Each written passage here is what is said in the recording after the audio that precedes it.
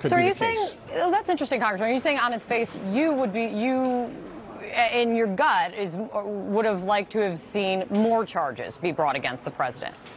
Well, I, I do think you need to be very specific about what you're charging the president with, and I, I think that abuse of power is, uh, you know, it uh, it's, it's a little bit fuzzier. It's sort of nebulous. So, uh, you know, I, I think there were probably elements of, of, you know, a conspiracy to commit bribery that were clearly, uh, uh, you know, articulated during the during the uh, depositions. So.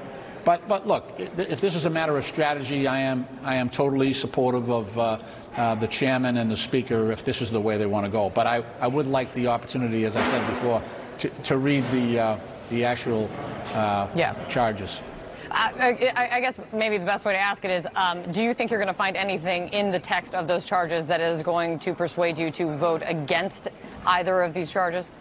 I doubt it. I doubt it very much. I'm Yeah. sure they, they've been very thorough, so there's plenty there, right?